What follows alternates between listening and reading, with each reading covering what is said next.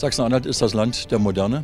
Hier hat die eigentliche Bauhausphilosophie Platz gegriffen und mit dieser Ikone der klassischen Moderne auch Zeichen gesetzt.